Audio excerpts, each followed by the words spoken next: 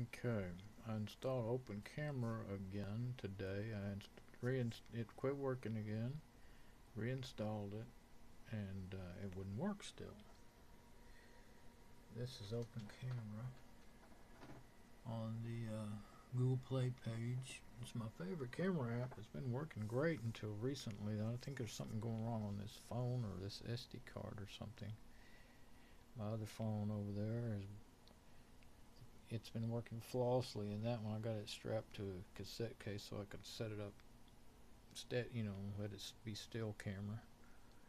Um, but I haven't set the settings like I like them on high, highest quality. This is default so let's stop this one and then uh, see if it will work in my settings that I like